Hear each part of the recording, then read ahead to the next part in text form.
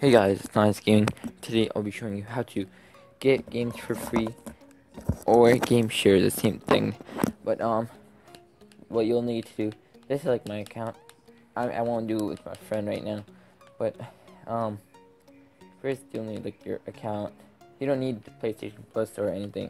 You don't need a membership, but it, you do need online, I believe, like on like internet. But um, that's pretty much it. But first you'll need a, friend or anybody that you could get his account. You'll need someone's account.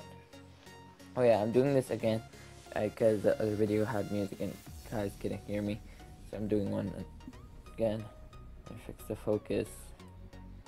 Right, sorry about that. Um. So yeah, um, first you'll need a friend's account. Then once you do have a friend's account, you'll need their email address and their password. That's it. Then once you do that, and you'll need them to deactivate their PlayStation, their account from their PlayStation. Just go there and tell them to deactivate it, so you could have the option to activate it. Right? So let's see. Alright, this is how you hold the PlayStation button, and then go to switch user, new user, create user. You're not actually making a user, but you're signing in to right so you wanna they should have told you the password your email address this is that email type in their email address and their password and just hit sign in.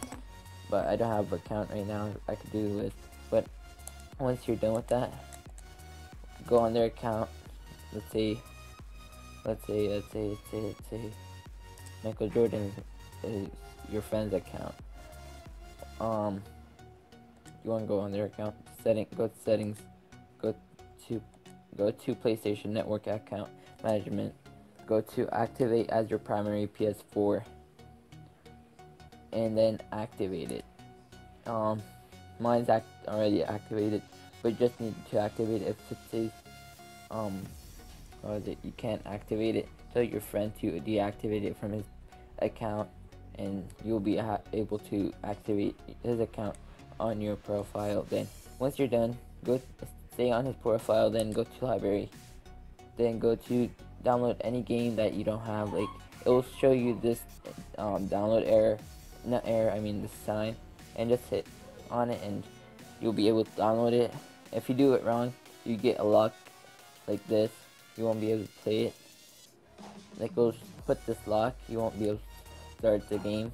So that's basically it and this is how you get games for free and game share. And I hope this you enjoy.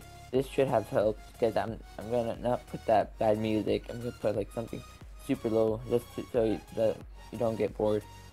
So yeah. Peace guys